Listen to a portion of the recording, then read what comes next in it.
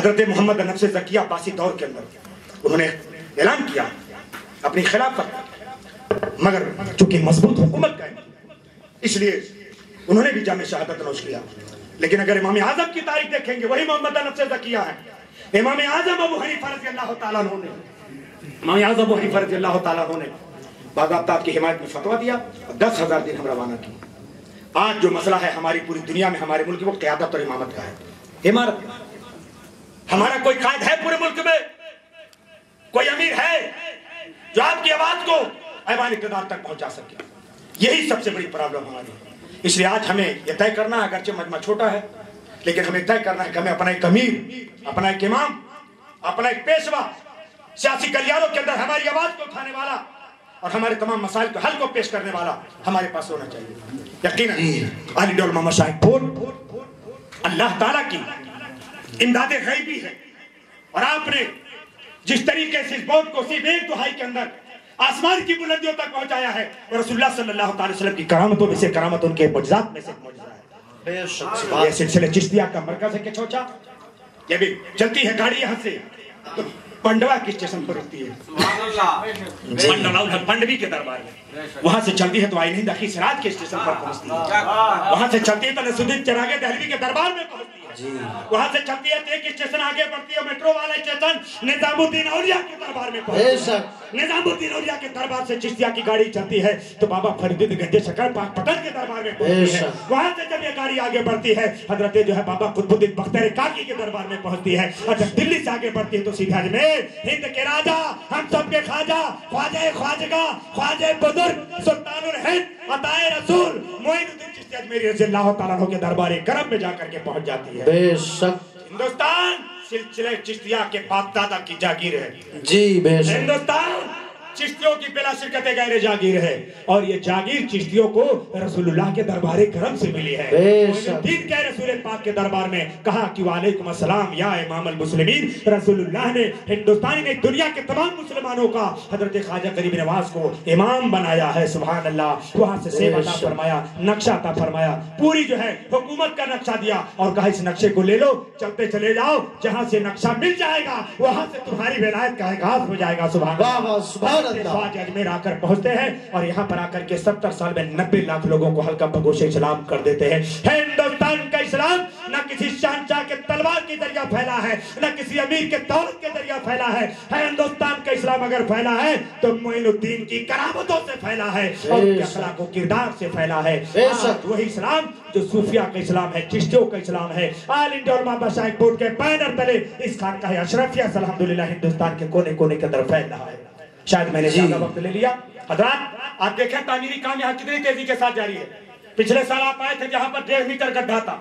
آج پوری زمین کے اوپر تقریباً ڈیڑھ میٹر سے زیادہ گڈھا یہاں پہ پاٹا جا چکا ہے۔ پلین ہو چکی زمین۔ آپ آئے تھے تو پچھلی بار آج یہاں جہاں پروگرام ہو رہا ہے جہاں اپنے لنگر کھایا یہ عمارت یہاں پہ نہیں تھی۔ یہ عمارت بن کے تیار ہو گئی۔ اور کی آلہ تو آسائش کے لیے یہ اتنی لمبی عمارت ایک ٹرین کے برابر سبحان اللہ۔ بمبئی ٹرین کی وجہ سے اتنی بڑی لمبی بلڈنگ تیار ہو گئی۔ بہت بڑا پلان ہے اشرف ملت کا۔ تعمیر کا تعلیم کا تنظیم کا تحریک کا اور جو ہے امامت و قیادت کا امت مسلمہ کی مختلف مسائل میں رہنمائی کا۔ آج ہمارے سامنے ابھی دلی کے اندر ایک حادثہ گزرا، آپ نے دیکھا ہوگا، سنا ہوگا، تفصیل بتانے کی ضرورت نہیں بہت سے لوگ کہتے ہیں، ووٹ کیا کر رہا؟ مزورا شرف ملت کیا کر رہے؟ وقت ہوتا تو میں آپ کو تفصیل سے بتاتا۔ سڑکوں پر جانوروں کی طرح چیخنے کا نام قیادت نہیں ہے۔ جی۔ قیادت کے لیے دماغ چاہیے۔ جی۔ قیادت کے لیے عقل چاہیے۔ قیادت کے لیے جوش سے زیادہ ہوش چاہیے۔ جی۔ نہ جانے کتنی مرتبہ صاحب آئے۔ ایک مرتبہ حضرت عمر نے کہا یا رسول اللہ اجازت دیجیے منافق کی گردن مار دو۔ تو جانتے ہو کیا کہا تھا رسول پاک نے؟ آج کے لوگ ہوتے تو شاید فتوا مارتے تھے جوش آ جاتے گردن مارتے تھے۔ آقا نے فرمایا نہیں اگر میں آج میں گردن مروا دوں گا اس منافق کی تو لوگ کہیں گے محمد اپنے ساتھیوں کی گردن مرواتے ہیں۔ ہندوستان میں بیس کروڑ کی تعداد میں مسلمان ہے۔ ایک سو پینتیس کروڑ کی تعداد میں دوسرے قبیلے کے لوگ آباد ہیں۔ اگر آپ تلواروں کی بات کریں گے، جہاد کی بات کریں گے، سڑکوں پر آنے کی بات کریں گے، نعرے بازی کی بات کریں گے، تو ہندوستان کے مسلمانوں کے سامنے اور زیادہ مسائل پیدا ہوں گے۔ آج ٹھنڈی قیادت کی ضرورت ہے، سرد قیادت کی ضرورت ہے، باوقار قیادت کی ضرورت ہے۔ جاندار قیادت کی ضرورت ہے۔ رسول اللہ نے فرمایا تھا تقو فراست المومن فإنه ينظر بنور اللہ تو مومن کی فراست سے ڈرو اس لیے کو نور الہی سے دیکھتا ہے سبحان اللہ۔ بے شک بے شک۔ نہ جانے کتنے مسائل ایسے تھے میری بھی رائے کہہ رہی تھی جوش میں آؤ جذبات میں آؤ ہنگامے کرو نعرے برپا کرو۔ لیکن حضور اشرف ملت کی پالیسیوں کا میں نے بہت گہرائی سے جائزہ لیا بلکہ میں کہتا ہوں تھوڑی سی گستاخی کرتے کہ ناقدانہ میں نے مطالعہ کیا ہے مگر ہر بار وقت گزرنے کے بعد آپ کی رائے کو میں نے درست پایا ہے۔ وقت گزرنے کے بعد آپ کی رائے کو میں نے درست پایا ہے۔ حضور اشرف ملت نے جو رنیتی طے کیا تھا ہندوستانی مسلمانوں کے سامنے، کس طریقے سے C A N R C N P R کا مقابلہ کیا جائے؟ کس طریقے سے حالات کو نارمل کیا جائے؟ اگر اس رنیتی پر مسلمان چلتا تو آج دلی تباہ ہونے سے بچ جاتا۔ یہ بل کی گارنٹی کے ساتھ میں بولتا ہوں۔ نجی مسئلے میں آپ گفتگو کریں میں سمجھا دوں گا آپ کو۔ بچ جاتی دلی۔ لیکن لوگ جوش میں آئے، ہنگامے پرتار ہوئے، نعرے بازی کیا، یہاں کی سڑک بلاک کرو، وہاں کی سڑک بلاک کرو کتنا کہاں سے شروع ہوا؟ شاہین باغ میں تو سڑک بلاک تھی، مگر جعفر آباد سیلا پور میں جب سڑک بلاک ہوا تو مد مقابل ہمارے سامنے آ گیا اور نتیجہ آپ کے سامنے۔ حضور رسول ملت، ایسی نعرے بازی والی قیادت، شور و ہوگ ہنگامے والی قیادت، مسلمانوں کو تباہی تک ڈھکیلنے والی قیادت پہ یقین نہیں رکھتے۔ آپ کو اللہ تعالیٰ نے آخر فرمائی ہے۔ بے شک۔ حضور نے سر سرکار کلا کا وقار عطا فرمایا ہے۔ حضرت شیخ حضرت کی نگاہ نظر عطا فرمائی ہے بے شک۔ یہ آپ جو فیصلہ کرتے ہیں الحمدللہ سلسلے چشتیہ کے بزرگوں کے کرم سے اسی جو ہے اپنی فراست اپنی قیادت اسی تجربے کی روشنی میں فیصلہ کرتے ہیں۔ آپ کو سلح حدیبیہ نہیں یاد ہے؟ حضرت عمر رضی اللہ تعالیٰ عنہ جیسا عظیم مرد مجاہد جوش میں آگا۔ کہا، یا رسول اللہ! کیا ہم حق پر نہیں ہیں؟ کہا، بالکل ہم حق پر ہیں۔ کچھ سخت جملے بولے، جس پر ندامت ہوئی حضرت فاروق اعظم کو سب تاریخ میں لکھا ہوا ہے۔ اور اس کے لیے آپ زندگی بھر تو بس استغفار کرتے رہے، صدقہ خیرات کرتے رہے، کہ میں نے رسول پاک کے دربار میں افسوس سے بول دیا ہے۔ اور آپ جدھر دیکھو، جس کو دیکھو، واٹس ایپ، فیس بک آپ نے فلاں کیا کر رہا ڈھیکا کیا کر رہا یہ کیا کر رہا وہ کیا کر رہا جس کو دیکھو وہی۔ ہر سب قائد، ہر گلی میں قائد، ہر نکڑ میں قائد، رکشے والا قائد، ٹھیلے والا قائد، بھجیا پکوڑی بنانے والا قائد۔ یہاں پر عمل کرنے والا کوئی ہے ہی نہیں۔ اطیع اللہ و اطیع رسول اللہ ولی الامر منکم، اللہ کے اطاعت، رسول کے اطاعت، حاکم وقت کے اطاعت۔ اب کوئی حاکم وقت نہیں آئے گا نہ محمود غزنوی آئیں گے نہ ظہیر الدین بابر آئیں گے۔ آج کے دور میں اگر تمہاری کوئی قیادت کر سکتا ہے اشرف ملت کر سکتے ہیں قائد ملت کر سکتے ہیں۔ انہی بزرگوں میں سے انہی خاندانوں میں سے سادات کرام میں سے تمہارا کوئی نہ کوئی قائد آئے گا۔ چودہ سو سال میں کسی بھی دور کے اندر کسی بھی صدی میں ایک سید کے سامنے امت ہاتھ جوڑ کر کے کھڑی ہوئی تھی۔ سرکار سلجوکیوں نے اقتدار کر لیا ترکوں نے حکومت کر لیا فلاں نے حکومت کر لیا۔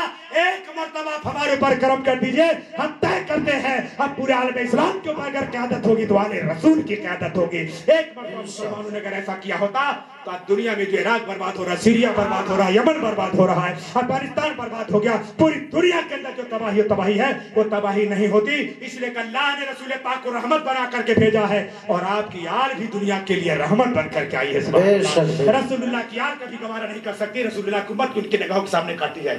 اور امام حسن نے یہی کر کے دکھایا ہے۔ جی بے شک۔ امام حسن نے یہی کر کے دکھایا ہے۔ لوگوں نے اس وقت بھی کہا تھا اے حسن ہم نے سنا ہے کہ پھر دوبارہ تم جو ہے اقتدار کے خواہش مند ہو خلافت کے خواہش مند ہو آپ نے کہا تھا جب ساٹھ ہزار فوجیوں کی گردنیں ہمارے ہاتھوں میں تھی تلواریں ہمارے ہاتھوں میں تھی ہم جسے چاہتے جس سے چاہتے لڑا دیتے، اس وقت جب حسن نے پیر کی ٹھوکر پر مار دیا اپنے اس دور کے اقتدار کو اس دور کے جو ہے پاور کو اور خلافت کو۔ تو اب دوبارہ میں کیسے اس کی خواہش کر سکتا ہوں؟ اللہ کے محبوب کا خاندان کبھی اقتدار کے لیے زمین کا سودا نہیں کرتا۔ یہی مخدوم اشرف جہانگیر سمنانی نے بتایا ہے۔ چلے سمنا کی وادیوں سے تخت و تاج کو چھوڑ کر کے آج یہاں پر کچھوچا کی جو ہے درویشی اختیار کر کے لاکھوں انسانوں کی حاجت روائی کر رہے ہیں۔ بے شک۔ امامت خطابت اقتدار پاور سیاست کا تم یہاں پہ تانا مت دو۔ یہاں وہ لوگ بیٹھے ہوئے ہیں جو تخت و تاج کو لاکھ مار کر کے فقیری اختیار کرتے ہیں۔ یہ درویشی مجبوری کی نہیں درویشی ہے یہ درویشی اختیار والی درویشی ہے آپشن والی درویشی ہے۔ اللہ تعالی ہمارے بزرگوں کو سلامت رکھے۔ آخری بات ماہنامہ غسل عالم جو چھپ رہا تھا کچھ قانونی پیچیدگیوں کی وجہ سے چھ مہینوں سے اس کی شاعت بند ہے۔ انشاءاللہ امید تو یہی ہے کہ شاید اب رمضان بعد یہ چھپے گا کیونکہ بیچ میں اب ہمارے رمضان آ چکا ہے۔ قانونی کارروائیاں پوری ہو جائیں گی تو وہ رسالہ انشاءاللہ تعالیٰ پھر چھپے گا۔ تعمیر و ترقی کا سامان آپ کے سامنے ہے۔ ہر سال الحمدللہ لاکھوں کام یہاں پہ ہو رہا ہے۔ تو میں چندے کی اپیل کرنے کے لیے نہیں کھڑا ہوا ہوں۔ یہاں تو دل والے ہیں، دل سے دل کو راہ ہوتی ہے۔ یہ خانقاہ آپ کی ہے، یہ تحریک آپ کی ہے آرگنائزیشن آپ کی۔ رسالہ ہے آپ کا جو کچھ یہاں بنے گا آپ کے لیے بنے گا سبحان اللہ۔